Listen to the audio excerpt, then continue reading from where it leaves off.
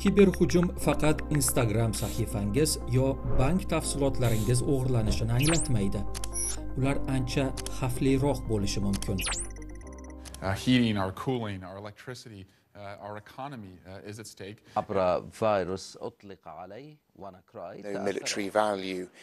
And what we're seeing is that uh, Russia is quite willing. the cyber kiber domain dunyo haqiqiy extended dunyoga into ta'sir the qilayotgani physical tobora world. ko'p This is a kuzatilmoqda Ekspertlar yillarki kimdir bundan nobud bo'lishi mumkinligi haqida ogohlantirib kelishgan. Sentyabr boshida germaniyadagi kasalxonaga qilingan hujum uning internetini izdan chiqardi. Shifokorlar bemorning hayotini saqlash uchun boshqa kasalxonaga ko'chirayotganida u yo'lda jon berdi.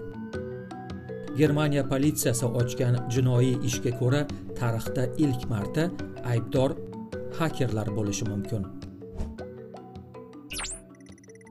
Hakerlar 6 yil avval germaniyadagi po'lat tegirmon ustidan nazoratni qo'lga olishgandi.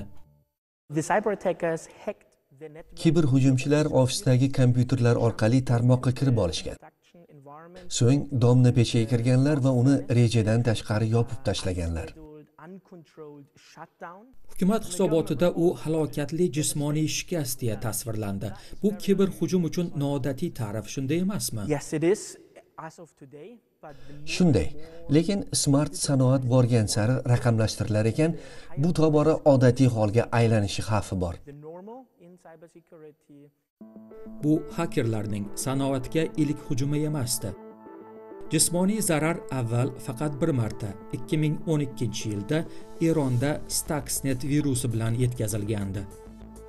Xo'sh bu kabi ish joylarida ishchilarni qanday himoya qilsa bo'ladi nazarimda kompaniya rahbarlari kiber xavfsizlikni juda jiddiy qabul qilishlari kerak. siyosatchilar ham ularning bu mas'uliyatlarni CEO belgilab berish haqida o'ylashlarini istar edim chunki juda jiddiy kiber hujumlarda inson halok bo'lishi mumkin transport va energetika kabi muhim zamonaviy sohalarga ham raqib davlatlar muntazam hamla qilyapti. 2015 va 2016 yillarda ukraina uchragan hujumda rossiya hakerlari gumonlandi. Yuz minglab odamlar elektr quvvatsiz qolishdi. Marina kiber xavfsizlik ekspertlaridan biri edi. Men nihoyatda g'azablangandim. Sababi birinchi o'rinda bu mening vatanimga bo'layotgan hujum edi. ikkinchidan kimdir oddiy xalqning farovonligi uchun muhim bo'lgan infratuzilmaga atayin hamla qilayotgandi kiber hujum oqibatida kimdir o'lishi kam uchraydigan holat. Lekin yaqin o'tmishdagi voqealar bu xavotirli tomonga o'zgarishi mumkinligiga ishora qilmoqda